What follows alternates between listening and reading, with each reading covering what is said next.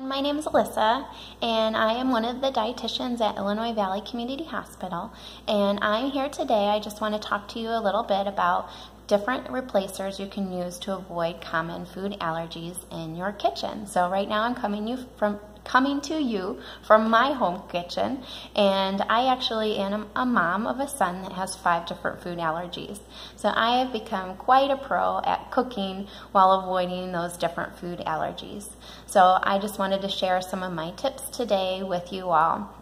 These tips would also be um, good things that you could use if you are taking a step to go vegan, trying to include more plant-based um, ingredients in your lifestyle. Um, and these things would also be things you could use if you ran out of ingredient at home and didn't have time to run to the grocery store because pretty much all of these ingredients are things that you probably have on hand already. So let's go ahead and get started. So my first um, food that I want to talk about is eggs. Um, so my son is highly allergic to eggs, so we have gotten quite accustomed to cooking and baking without eggs, and it's actually really, really easy. Um, so oftentimes recipes you can leave them out and you wouldn't even know the difference. Um, just add a quarter cup of water in place of the eggs. Oftentimes I do that if I am making pancakes. Um, my number one egg if I'm baking is to do one tablespoon of vinegar and add into that one teaspoon of baking soda. Usually I'll take that and I'll mix it up and let it stand for, you know, a couple seconds and then I just add it to my um, recipe that I'm making. Um, and that I feel like gives the best product results. Um, you can also use aquafaba. So some of you may have never heard of aquafaba before, but aquafaba is just the liquid that is in your can of beans. Um, so if you have a can of chickpeas, you can just drain that juice off that's in the can of chickpeas and you can use that in your recipes in replacement of eggs. So it's a really simple replacement and it also kind of cut backs on, cuts back on food waste a little bit, which is also a pro too. So that's good. Flax, egg, flax eggs are another um, substitute you can use for eggs. Also very, very easy, very, very healthy too. So all you would do is take a quarter cup of water, add in a tablespoon of flaxseed, and let that sit for um, a couple minutes, um, and it should start gelling up um, like an egg. Um, there's lots of other substitutes you can use for eggs too. So you can use pureed fruit, a quarter cup of pureed banana or applesauce is a substitute you can use for eggs in your recipes. Um, a quarter cup of tofu um, you can use as well. Um, and there's also lots of commercial egg replacers you can buy at the grocery store. Um, but I haven't found one that the ingredients seem all that great. Um, so I would prefer to use the ones that I've already listed to get something that's a little bit more nutritious. Um, so that's all of my tips for recommend or tips for avoiding eggs in your kitchen. Um, peanuts and tree nuts are another very common food allergy. Um, suggestions for what you could use in place of those is to use um, sunflower seeds or any kind of seeds in your recipes um, would be a um, good substitute that still offers a great um, benefit of nutrition. Um, we use a lot in our house um, sun butter, which is just sunflower seed spread. it tastes really, really good. it definitely doesn't taste like peanut butter, but it, it, tastes like sunflower seeds. but you can use it, you know, if a recipe for, I don't know, peanut butter cookies or something like that calls for one cup of peanut butter, you could just substitute in um, one cup of sun butter. Um, there's also wow butter that you can buy at the grocery stores too. Um, wow butter is made from soy, so if you do have a soy allergy or are avoiding soy, this would not be the substitute for you, um, but this is also a substitute you can use if you're just avoiding peanuts and tree nuts. Um, this is 100% peanut and tree nut free. Um, when it comes to substituting for milk, there is so many substitutes for milk any day nowadays. Um, there's coconut milk, almond milk, flax milk, oat milk, peanut milk, um, you name it, there's probably a milk that comes from it. Um, what we like to buy in our household is this Bolthouse Farm plant protein milk.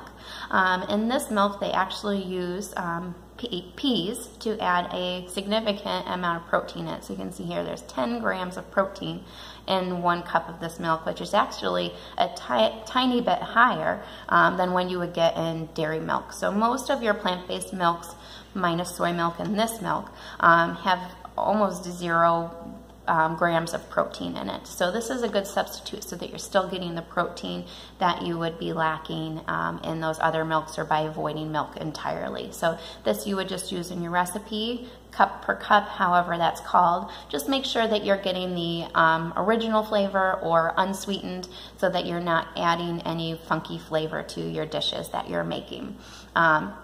If your recipe calls for buttermilk, it's so easy to make buttermilk on your own. All you would do is take one cup of the plant-based milk or what, almond milk, whatever milk you're using at home, and add one tablespoon of um, white vinegar, or you can use whatever vinegar you have on hand, really, um, and wait about five to 10 minutes. And oftentimes, um, in that amount of time, you'll see that it turns to the consistency similar to buttermilk. Um, and it's actually quite fun to watch. My kids love it. It's like a little science experiment. But it's so easy um, to make that replacement um, and it's a lot healthier too. So that's a substitute you can use. Um, one thing that I do like to use um, if I'm making like mashed potatoes or something like that, um, I'll just substitute in um, a low sodium broth instead of adding any milk or butter to my mashed potatoes and I honestly think it tastes better than a lot of the other mashed potatoes that I've made at home. So that's easy substitute that you can use too, um, is using the, the broth instead of milk in your mashed potatoes. Um, as far as other dairy-free substitutes that you can um, purchase at the grocery store, there is so many um, that you can buy. Um, lots of different brands. There's um, So Delicious. There's Daiya. There is Kite Hill. Um, there's so many brands that you can get that are now producing um, dairy-free products. Um, the most important thing when you are buying any of those products, and this goes for the milk too, um, is to make sure you read the allergen statement that's listed on that product. Um, you want to make sure that they have strict allergen um, procedures that they're following in the factory to make sure that they are cleaning and testing the equipment before they make that product. Oftentimes these types of products do make multiple products. So for example, like silk milk has almond milk, soy milk, um, all different kinds of milks, and they use the same equipment for that. So if you have an almond allergy, then you need to make sure that they are cleaning that equipment and testing that equipment before they start making the um, soy milk or whatever it is that you're using. So just always make sure you're taking a peek at that. And that's important too because oftentimes those products will claim um, or they'll market the product as it's, you know, uh, plant-based product, um, but then you actually read the ingredients and you find that there is milk in there or there might be soy in there. Um, so just always make sure you're reading those um, in the allergen statements to make sure you know what you're getting um, to keep your family safe. Um, there's um, lots of different alternatives for yogurt. Um, there's coconut yogurt, um, almond milk yogurt, flax yogurt. Again, just make sure you take a peek at the sugar content um, and the vitamins that are in that. Um, and oftentimes they do add probiotics to these, so that's a plus too. Um, there is substitutes for cheese too, so I did mention um, Daiya, there's veggie shreds. Um, so again, just read those labels, really, really good. And I wouldn't recommend um, using these all the time. Just like the almond milk and some of the other milks, these really don't have any protein in them whatsoever, and they're highly processed um, foods. So I would use these as a um, kind of once in a while thing, not an everyday um, thing to be eating.